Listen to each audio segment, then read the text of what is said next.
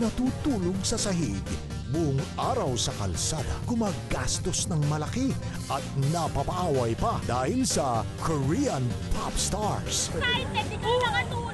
Silipin natin ang buhay ng mga fantastic fanatics. Trabaho nilang pumorma, kinakarirang pagparty. Pero maganda nga kayang maging promo model. Araw-araw parang piyesta sa mga eat all you can na kainan. Tuklasin din kung nasaan ang one to sawa na halo-halo stand. Kapuso mo, Jessica Soho.